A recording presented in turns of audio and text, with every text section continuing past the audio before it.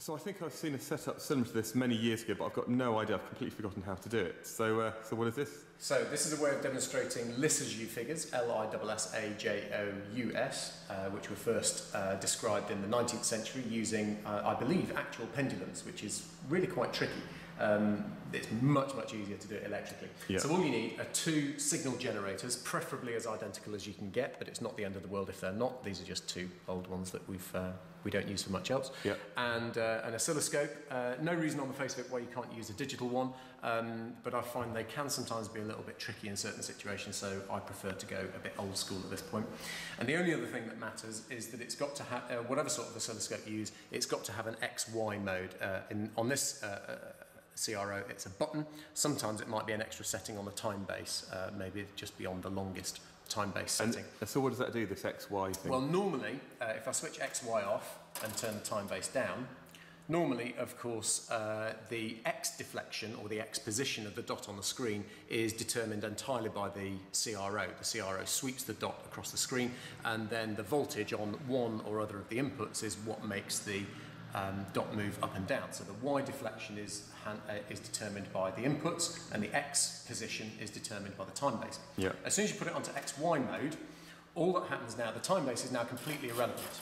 It's completely disconnected. Okay. And what happens now is that one of these inputs is determining the X position, and one of them is determining the Y position. So let's see which one's which. Let's turn this signal generator up. So my top signal generator is deflecting the dot vertically, as you can see. And that's just showing that uh, effectively the size of the amplitude there, or effectively the voltage displayed, is a bit like the, the output on the signal generator. Exactly. It's as if you turn the time base off normally. Yeah. Um, so that's giving me uh, three squares, uh, whatever that might be. I think six volts because it's two volts per division at the moment. Yeah. If I turn that one down and instead turn the lower signal generator up on XY mode, it now makes the dot move left to right. So it's almost as if you've just um, turned the oscilloscope screen through 90 degrees. Yeah.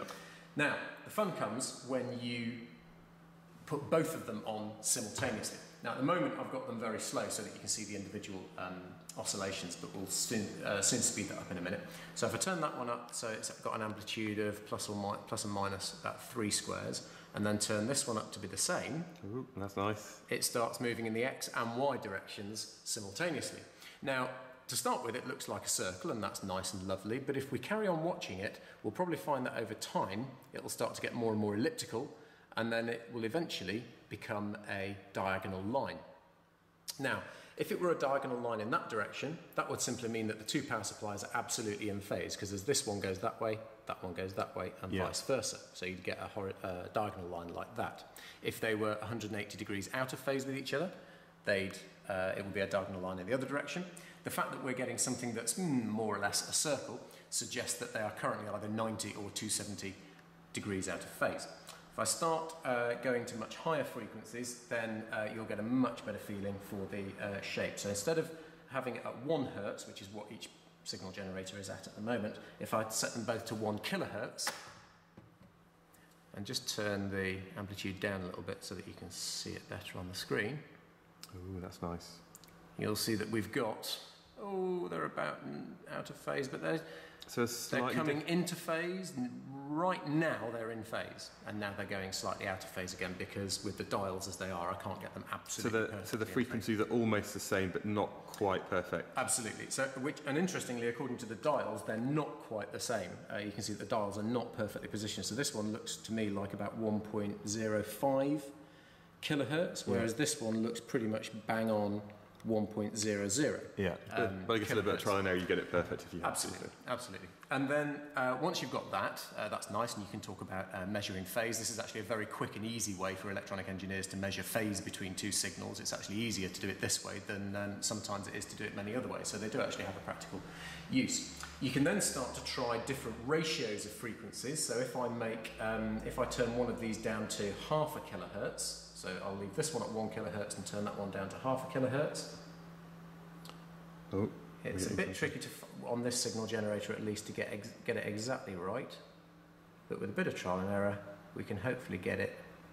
There we go. Ooh, that's nice.